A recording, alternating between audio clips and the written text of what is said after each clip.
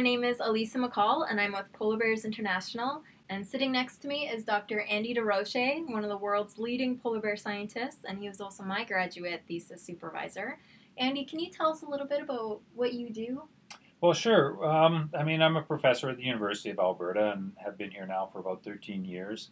Uh, I've been studying polar bears throughout various parts of the Arctic for over 30 years now recent research shows, and we've known for a while too, that the terrestrial food sources simply aren't enough to sustain these polar bear populations. So they really do need that sea ice and the seals as it, prey. It's interesting because you can go back into the late 1500s. Uh, Jacques Cartier was coming to North America, and one of the things he noted in his journal was that they were seeing polar bears swimming near Newfoundland, and they were swimming to an island.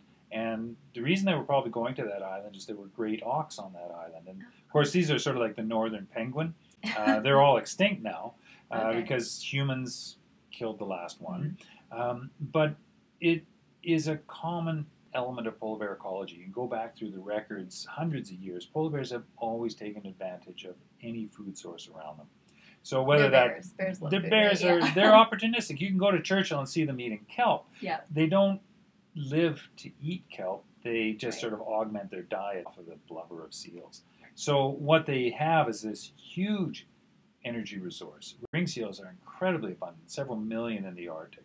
Um, they're everywhere, everywhere where there's sea ice. Mm-hmm. And so, of course, the bears are exploiting that layer of blubber on those seals and very high efficiency of transfer. So when a bear eats a block of blubber, 90% of that goes right into their own body stores. So it's just basically, you have to think of a polar bear like a fat vacuum. They just go around, catch a seal, suck off that fat, put it on their own bodies, and then use that fat to go for long periods of time without food.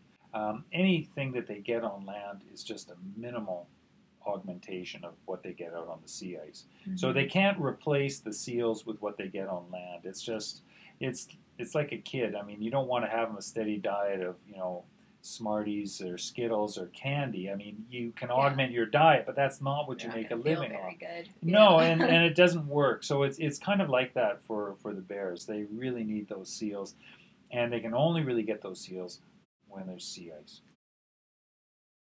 Follow Andy on Twitter. You won't be disappointed. And thanks for watching. If you have any questions for Andy, either tweet him or email us at questions at pbears.org and we'll pass your question on. So thanks, Andy, and thank you for watching. Bye-bye. bye bye